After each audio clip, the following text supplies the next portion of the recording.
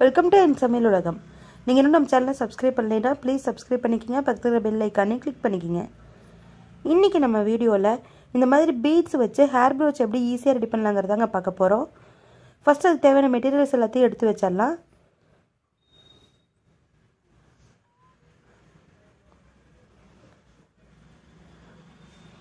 இப்போ ஃபஸ்ட்டு வந்து இந்த மாதிரி கோல்டு ஒயர் எடுத்திருக்கேங்க. இந்த ஒயரில் வந்து இந்த பீட்ஸ் கோர்த்து நம்ம ஒவ்வொரு செட்டாக ரெடி பண்ணி வச்சுக்கலாம். நான் ஃபஸ்ட்டு வந்து ப்ளூ கலர் பீட்ஸ் கோர்க்கிறேன் ஒரு ஒரு விரல் அளவுக்கு நம்ம நீளம் விட்டுக்கலாங்க. இந்த மாதிரி பீட்ஸை வந்து ரெண்டு சைடும் இந்த மாதிரி வளைச்சி லாக் பண்ணிக்கணும். அதோட நீளம் பார்த்திங்கன்னா ஒரு ஒரு விரல் அளவுக்கு நம்ம விட்டோம்னா போதும்.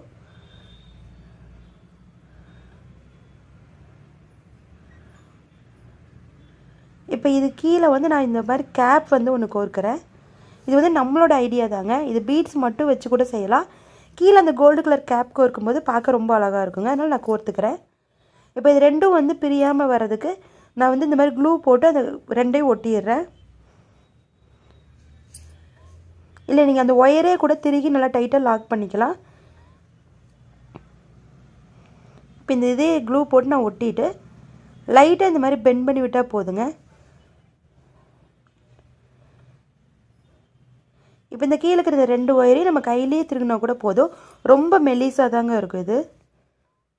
இப்போ அதே மாதிரி நம்ம கோல்டு கலர் பீட்ஸ் வச்சு கோர்க்குறோம் இப்போ இன்னொரு செட்டு பார்த்துட்டிங்கன்னா கோல்டு கலர் வச்சு நம்ம ரெடி பண்ணுறோம் சேம் அதே மாதிரி தாங்க அந்த கோல்டு கலர் பால்ஸ் கோர்த்துட்டு நம்ம இந்த மாதிரி கட் பண்ணி எடுத்துக்கலாம் ஒரு விரல் அளவுக்கு. கீழே வந்து இந்த மாதிரி கோல்டு கலர் கேப் வந்து நான் கோர்த்துக்கிறேன். இதுக்கு பதிலாக நீங்கள் கலர் கூட யூஸ் பண்ணலாங்க. இன்னும் டிஃப்ரெண்ட்டாக இருக்கும். இப்போ இதையும் ரெண்டே ஒட்டிடலாம்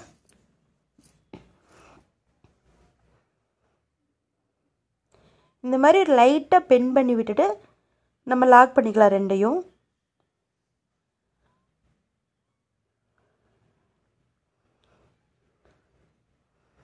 இப்போ இதுக்கு பார்த்தீங்கன்னா நான் கோல்டு கலர் பீட்ஸ் வச்சு ஒரு பத்து இது ரெடி பண்ணியிருக்கேங்க. அதே மாதிரியே ப்ளூ கலர் பீட்ஸ் வச்சு ஒரு பத்து செட்டு நான் ரெடி பண்ணியிருக்கேன். மொத்தம் இதுக்கு வந்து இருபது செட்டு தேவைப்படுங்க. நான் ஆல்ரெடி வந்து இதெல்லாம் ரெடி பண்ணி வச்சுருக்கேன். இப்போ இது எப்படி நம்ம ரெடி பண்ணலாங்கிறத பார்க்கலாம். இந்த பீட்ஸை வந்து. நான் இதுக்கு வந்து இந்த மாதிரி சில்வர் கலர் ஒயர் எடுத்திருக்கேங்க. இது வந்து கொஞ்சம் ஸ்டிஃபாக இருக்கும். ஒரு பென் வச்சு இந்த மாதிரி வந்து ஹூக் மாதிரி நம்ம பண்ண போகிறோம் ஒரு ரெண்டு சுற்றி இந்த மாதிரி வளைச்சோம்னா போதும். ஒரு பெண்ணில் வந்து ஒரு ரெண்டு சுற்றி சுற்றி எடுத்தோம்னாலே நம்ம கரெக்டாக அந்த ஹூக் மாதிரி வந்துடும் நம்ம தலையில் வச்சு பின் பண்ணுறதுக்காக இது ரெடி பண்ணுறோங்க பென் இப்போ வெளியே எடுத்துகிட்டு இந்த மாதிரி வந்து திருகி விட்டு நம்ம லாட் போட்டுடலாம் நல்லா இந்த மாதிரி திருகி விட்டோம்னா லாக் ஆகிக்கும்.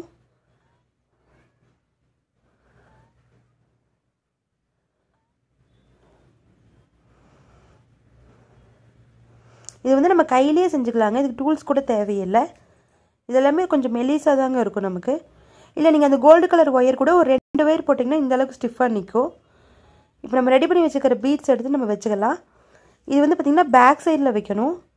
பேக் சைடில் வச்சு நல்லா டைட்டாக பிடிச்சிக்கணும்.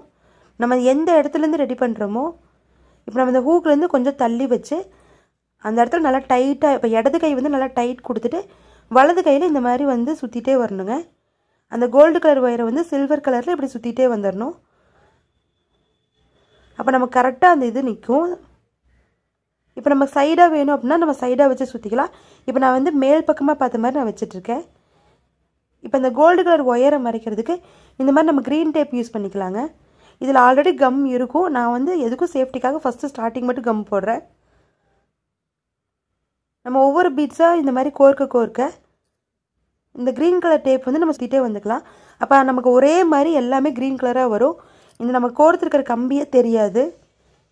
ஃபஸ்ட்டு ப்ளூ கலர் வச்சு இப்போ அடுத்தது வந்து ஒயிட் வைக்கிறேன்.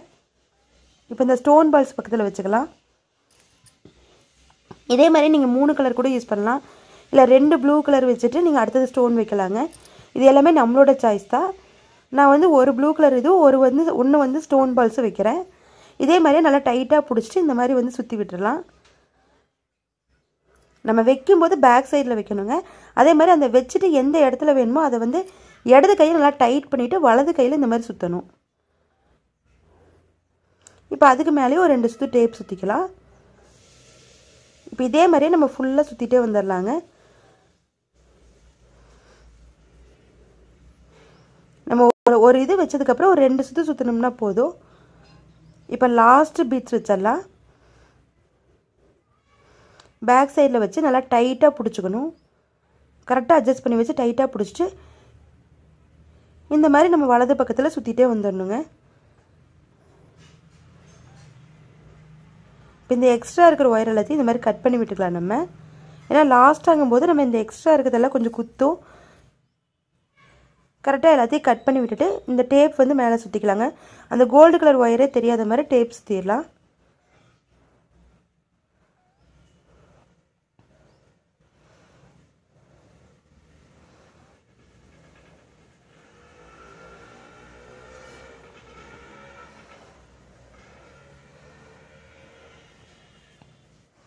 இப்போ இந்த லாஸ்ட் இதையும் பென் வச்சு நம்ம ஹூக் மாதிரி ரெடி பண்ணிக்கலாங்க.